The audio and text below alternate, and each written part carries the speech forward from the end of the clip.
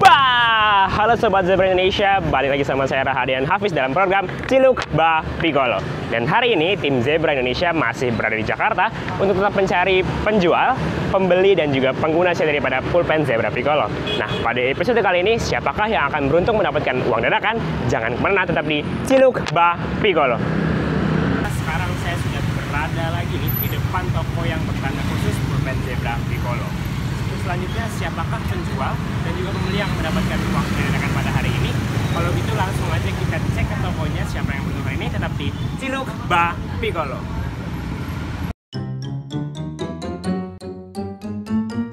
Nah, sekarang saya sudah berada persis di depan toko yang bertanda khusus. Kalau gitu kita langsung masuk aja untuk mengetahui siapakah penjual yang beruntung hari ini mendapatkan uang dadakan dari pulpen Zebra Piccolo. Yuk kita masuk aja yuk. Ciluk, bah. Halo Bapak, selamat siang Pak. selamat siang. Namanya siapa Bapak? Namanya Ardiansa. Ardiansa. Panggilannya Bapak? Anca panggilan. Bap- Bapak Anca. Oke, biar Bapak Anca panggilnya ya. Iya. Oke, Bapak, itu pertanyaan pertamanya. Bapak ini kayaknya jual piccolo nih Pak di sini Iya, Pak. Benar, jual. Buktinya mana nih Pak jual piccolo nih? Itu piccolo juga. Nok ya, buat Pakai pic- Oke, Bapak juga jual banyak piccolo berarti ya Pak ya. Oke. Yang kedua Pak, Bapak kenapa sih pilih pulpen piccolo untuk dijual nih Pak nih? Yang pertama karena harganya itu murah. Murah harganya, kemudian Jenis produknya banyak. banyak variannya. Selanjutnya Ya enak dipakai gitu. Jadi udah banyak peminatnya juga. sih. banyak yang beli juga jadinya Pak. Jadi laris terus ya Pak ya kalau Iya, jual alhamdulillah. Karena Bapak jual piccolo, maka Bapak berhak mendapatkan 300 ribu rupiah. Selamat Bapak ya, selamat Bapak mendapatkan rezeki nomplok hari ini dari pulpen piccolo. Kalau gitu terima kasih dan kesan pesan untuk Zebra Indonesia Pak ke arah kamera. Pesan-pesannya ya supaya variannya ditambah lebih banyak lagi. Yes, terus, terus? harganya kalau dibikin lebih semurah-murahnya lagi. Oke. Ciluk bah piccolo. Ciluk bah. Ah, ya. Oke Ibu, saya mau tanya nih Ibu ini. Kayaknya lagi beli pulpen piccolo nih Ibu nih ya. Betul sekali. Pertanyaan pertama, nama Ibu siapa? Namanya Uli. Ibu Uli.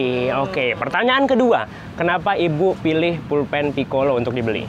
Yang pertama karena kalau dipakai itu jelas Ya. eh, untuk eh, tintanya. Kemudian? Yang kedua gel, kan bentuknya Oke, gel, nggak kayak pulpen yang lain. Yang ketiga Terus- harganya lebih murah dibanding. Yang terakhir penting banget ya Bu ya harga murah. Ya. Kemudian yang pertanyaan ketiga Ibu, harapan untuk PT Zebra Indonesia ke depannya bisa seperti apa? Semoga banyak varian pulpen yang lain. Iya. Terus harganya lebih murah. Lagi baik harga lagi ya Bu ya, bagus. Ya, Kemudian selanjutnya eh, variasinya lebih banyak. variasi lebih banyak lagi. Karena Ibu alasannya juga sangat tepat, harapannya sangat tinggi untuk Zebra Indonesia, maka Ibu berhak mendapatkan 200 ribu rupiah.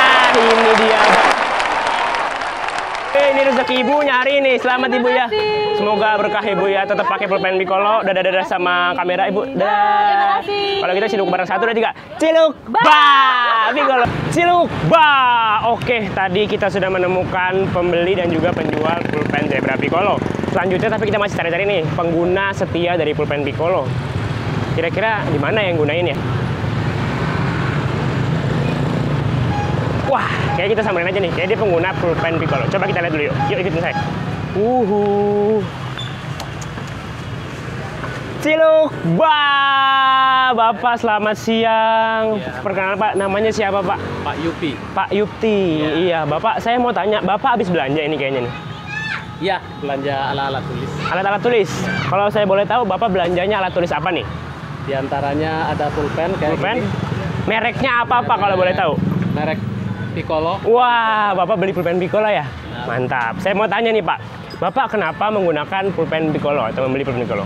Eh, pertama saya beli karena banyak yang beli di toko saya. Iya, kemudian Terus saya juga suka pakai. suka pakai Ini coba. Saya taruh di kantong. Bapak bawa di mana-mana berarti ya. Oh. Untuk menulis apa-apa yang dibutuhkan di jalan kali saya lupa saya catat. Dicatat pakai pulpen Piccolo tentunya. Oke. Selanjutnya Pak, Bapak gimana ngerasainnya pakai pulpen Piccolo nih Pak? Pulpen Piccolo ini ditulisnya lembut, Lembut, enak. enak. Terus sampai terakhir tuh nggak pernah macet. nggak pernah macet jadi enak banget buat digunakan ya Pak ya. Oke, karena Bapak sudah menggunakan pulpen Piccolo, Bapak berhak mendapatkan uang tunai sebesar 200 ribu rupiah, Pak. Ini beneran, Pak, buat Bapak. Masa saya bohong? Ini Bapak terima. Yes, ini dia buat ya. Bapak. Iya, sama-sama, Bapak. Selamat, Bapak. Ya, Terima kasih. makasih. Ucapkan terima kasih kepada Zebra Indonesia dan kesan-kesan untuk Zebra Indonesia seperti apa, Pak? Eh, pertama saya ucapkan terima kasih pada Yes. Zebra Indonesia. Eh, saya maunya pesannya Zebra bisa membuat pulpen yang harganya terjangkau, Yes, terus? enak ditulis, Ya. dan bervariasi, Bervariasi yang penting. disenangi oleh masyarakat. Oke, gitu terima kasih dan kita bilang ciluk bareng-bareng Pak. Satu, dua, tiga. Ciluk ba Pigolo. Ciluk ba. Nah, Sobat Zebra Indonesia, hari ini kita berhasil menemukan seluruh pelanggan setia dari pulpen Zebra Pigolo. Tunggu kami di kota-kota selanjutnya dan pastikan kamu sudah pelanggan setia dari pulpen Zebra Pigolo. Karena mungkin kamu akan menjadi orang yang beruntung selanjutnya dalam acara Ciluk ba Pigolo. Bye-bye.